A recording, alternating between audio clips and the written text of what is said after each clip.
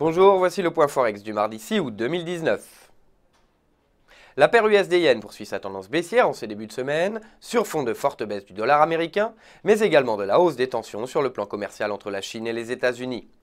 Techniquement, la réintégration du canal baissier devrait mener à une poursuite de la baisse vers le support à 105,32. La cassure de ce dernier pourrait mener à un test du plus bas depuis novembre 2016 et situé à 104,63. Retrouvez-nous dès 11h pour le Market Live et dès demain pour d'autres analyses.